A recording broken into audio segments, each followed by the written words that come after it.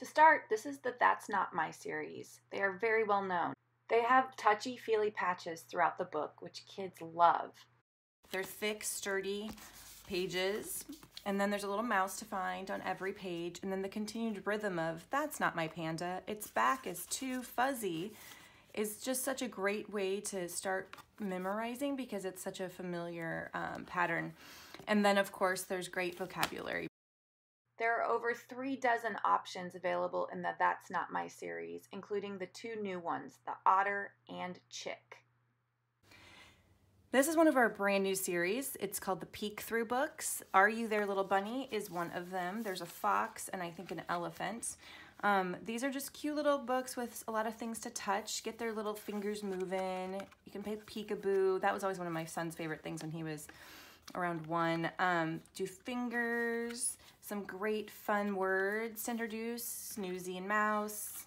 Going through the whole thing. Are you there, little bunny? I can see your, oh, they're not, those are not those. Oh, there you are. Finger trails, they're super cute. This is a series I recommend the most for kids between one and three. Um, it is There's three in this series. This one is the Out and About one. These are going to have double pages that are scenes from just that, whatever that theme is. In this case, it's Out and About.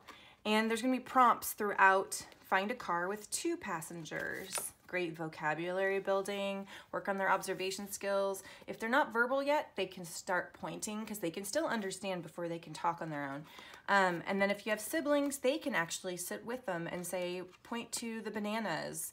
Um, they don't have to be able to read to be able to ask what the their younger one sees. But this is my favorite series for one through three year olds. And this is a super cute one. I want to be. You have a kid that's imagine into imagination and playing.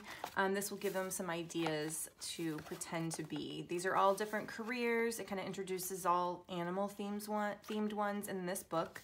This is a sturdy board book, beautiful illustrations. And then this one is science type careers. And then last but not least is another bestseller, our Slide and See series. We have several in this series. Um, this one is the Under the Sea. They have the sliding mechanism, which is great for teaching cause and effect, as well as for fine motor skill development. Um, thick, sturdy pages. And the bright colors make it a sure hit with the little ones.